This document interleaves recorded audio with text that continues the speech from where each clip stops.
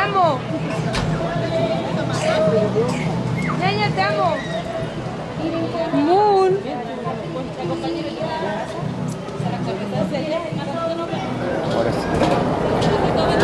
Eh, bueno, mi nombre es Natividad Inquileo, estamos aquí apoyando a las hermanas que hoy día se encuentran ocupando la UNICEF en repudio a la violencia estatal que hay en contra de las comunidades mapuche. Eh, esta es una jornada de protesta más que de celebración, de decirle a la sociedad chilena que los mapuches o los niños mapuches no tienen nada que celebrar, sino es denunciar los diversos atropellos que se están cometiendo no solamente en contra de ellos, sino también de sus comunidades. Cuéntanos un poco sobre el tema represivo. Sí, lo que pasa es que bueno, no es nada nuevo, es algo que ha venido pasando constantemente. Ahora tenemos quizás la ventaja de denunciar esto a través de las redes sociales. Eh, los gobiernos siempre tratan de taparlo, hizo la concertación, hoy día lo hace la derecha, así que no es nada nuevo, la represión está, han habido muertos, han habido constantemente allanamientos eh, en contra de quienes eh, se movilizan, aquellos que están en contra de, la invasión de las grandes empresas, de la hidroeléctrica, las empresas forestales y todo lo demás que están terminando con la vida de las comunidades, que terminan con el agua, que están terminando con la alimentación. Y, ahí, o sea, no, la represión sigue, el Estado se ha puesto al servicio de los, el, del poder económico, que en realidad eh, siempre ha sido así, siempre hasta hemos vivido constantemente ese tema. Eh, ¿Qué es lo que está sucediendo ahora en las comunidades, sobre todo que en este momento la militarización ha generado una situación bastante grave, no solamente represiva, sino desde el punto de vista de lo que es el tema alimentario, la situación de, productiva de, las comunidades. ¿Qué, ¿Qué puedes decir sobre eso? Yo creo que llega un momento en que, eh, debido a toda la situación que ha pasado, como digo, con la invasión de, de estas grandes empresas, han ido terminando con estas cosas tan básicas como el agua, por ejemplo, la alimentación, y que la gente llega un momento en que tiene que reaccionar. Está reaccionando frente a toda esta situación, ha venido reaccionando siempre, no es nada nuevo, eh, y vuelvo a insistir, o sea, eh, es algo constante y seguramente no termina aquí, va a seguir por mucho tiempo más, quizás nuestras generaciones pasen y, y sigan pasando y este tema va a seguir. ¿Cómo debería intervenir el, el, mundo social y el mundo popular respecto a lo que viene, sobre todo desde el punto de vista de las leyes? Yo creo que un, eh, siempre se habla y tratan de excusarse en que están en un Estado de Derecho y, para nosotros el Estado de Derecho no solamente tiene que ver con las leyes, sino también con la justicia. Y aquí lamentablemente no hay justicia, no hay legitimidad, no hay nada con respecto a las decisiones que se toman eh, por las personas, o sea, por la mayoría de la, de la ciudadanía. Hay gente, hay tener parlamentarios que no tienen ninguna representatividad, que lo único que hacen es ganar su sueldo y arreglarse ellos y que no están, no están respondiendo a lo que hoy día la ciudadanía quiere. Y más allá de eso, yo creo que es importante que los demás movimientos sociales se, se interioricen en esto, conversen, analicen estas situaciones, se informen más, porque también yo creo que hay mucho desconocimiento de lo que es el movimiento mapuche. ¿En qué situación está hoy día justamente el movimiento mapuche? Hay un hay una discusión, hay un trabajo más de fondo respecto sobre todo lo que está pasando ahora, aunque no es nuevo, sí. pero hay etapas, ¿no? Sí. Y esta etapa me imagino que exige esfuerzos superiores desde el punto de vista de la unidad del movimiento. Sí, yo creo que tenemos ese, quizá eso de ponerlo en el lugar de otro y estemos donde estemos, vamos a estar apoyando a nuestra gente porque sabemos lo que pasa, sabemos lo que se siente cuando son reprimidos y, y más que eso yo creo que hay mucha conversación hoy día, hay mucho análisis.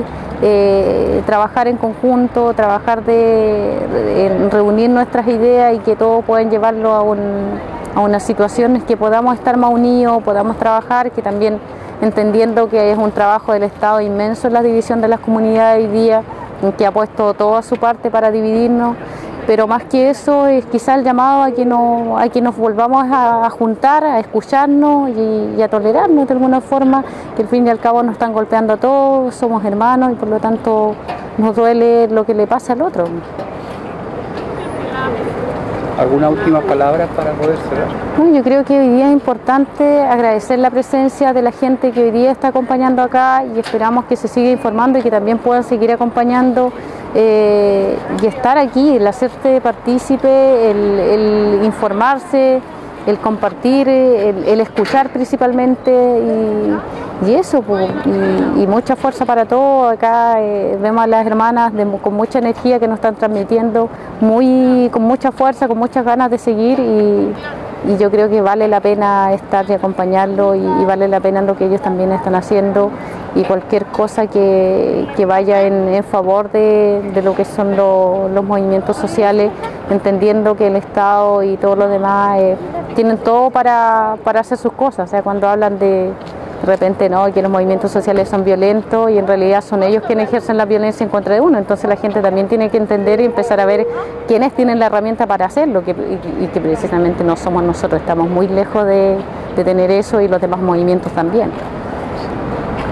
Tiene mucha fuerza la cultura, más que, que la violencia del Estado, ¿no? Sí, tenemos el conocimiento, tenemos la fuerza, que, que ellos lo tienen, lo convierten en lo que son las armas, en el- los recursos económicos, pero nosotros tenemos todo lo, lo demás, pues, es el- la energía para seguir ahí a pesar de todas nuestras dificultades y que esas mismas dificultades nos llenan de fuerza día a día para continuar. Yo demando al ser que se eligió porque el agua me vendió y también la electricidad. Y ahora va como ave voraz por la tierra del origen. Qué tremenda sinvergüenzura en plena democracia después de una dictadura. A nadie le causa gracia con el robo del monto de la pensión. A otro país, dice el ratón, sigo llevando el queso. Años haciendo lesa a esta tonta nación por tenerla sin cultura y sin derecho a educación. Y es por eso que se ha olvidado de la sangre que un día derramara Lautaro, Colo Colo y Galvarino, que nunca fueron mezquinos y hasta su vida dieron para echar al invasor. Pero todo cambia de color con el Winca en el Senado, que solamente se tratado para crear cesantía y así borrar la alegría del pueblo trabajador. Ahora me da vergüenza ir a votar porque son los propios mandatarios los que ayudan a robar la riqueza de mi pueblo y todo lo estatal. Y esta demanda también va para ti, para que mi pueblo mapuche nunca más viva encarcelado y exiliado en su propio país. Mari, Mari Chihuahua, Mari Chihuahua. Bueno, yo en realidad quisiera dirigirme a todo el pueblo de Chile, porque de él depende que defendamos. No depende solamente de ellos defenderse, sino que depende de todo el pueblo chileno defender al territorio mapuche, defender a esa gente que defendió este territorio. No lo defendió, sino que era el dueño de este territorio. Y, la invasión española llegó y se las quitó.